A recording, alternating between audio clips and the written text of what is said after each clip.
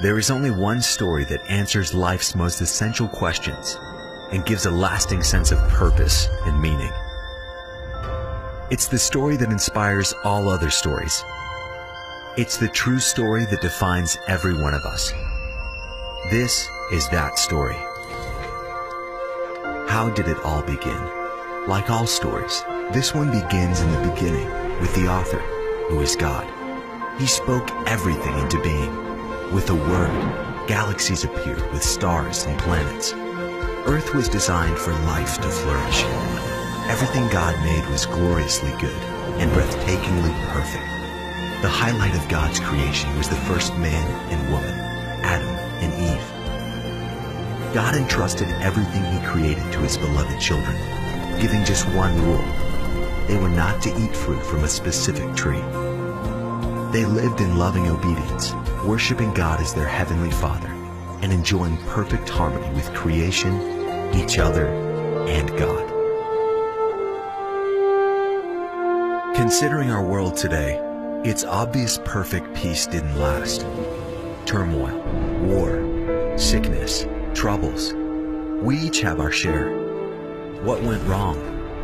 It started when a fallen angel named Satan grew jealous of God and determined to ruin the perfection of creation.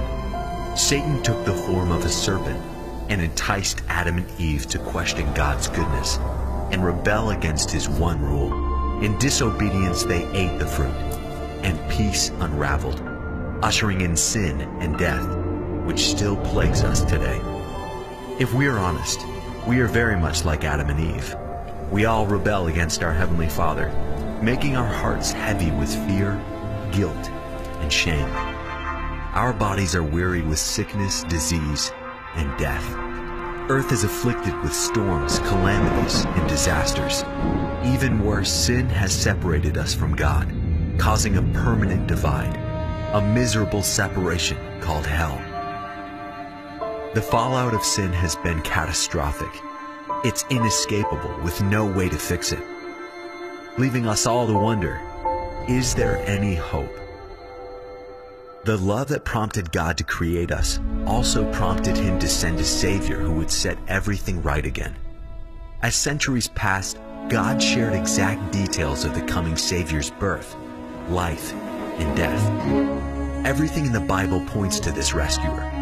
Almost 2,000 years ago, Jesus came to earth as God the Son to fulfill the promise. He was born miraculously, as his mother was a virgin. Just like us, Jesus grew up and experienced life on earth. But unlike us, Jesus never sinned and always obeyed the Father. When Jesus was in his 30s, he began teaching all around Israel, pointing people to God's kingdom and performing many miracles. After a few years, he was wrongly accused and sentenced to an agonizing death on a cross. Jesus lovingly gave up his perfect life as a sacrifice to pay for the sins of mankind. He died a perfect death, taking our place, the innocent for the guilty. But the grave couldn't hold Jesus. Three days later, God brought Jesus to life again. Jesus defeated sin by dying on the cross and defeated death by rising from the dead. Today, Jesus sits at God's right hand as King and Judge over all creation. This is the story of rescue God has authored. He invites us, through repentance and faith, to make his story of rescue the one we trust in and live from. When we do, everything changes. And now, what will the future hold?